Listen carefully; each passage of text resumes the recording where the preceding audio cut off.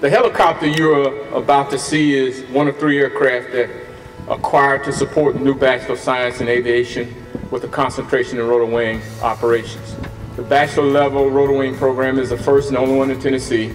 Today we celebrate the first helicopter landing, Gov 1 of Austin Peay State University rotor wing fleet. Ladies and gentlemen, Gov 1. The fleet consists of two Guimbal G2s and one soon to be acquired Robinson 44. Students who earn a bachelor's degree in aviation science will acquire a robust education in the arts and sciences and they'll also acquire skills to be able to earn an FAA commercial pilot and flight instructor certification or certifications. This came as a result of faculty talking to industry. Where are the jobs? Where are the needs?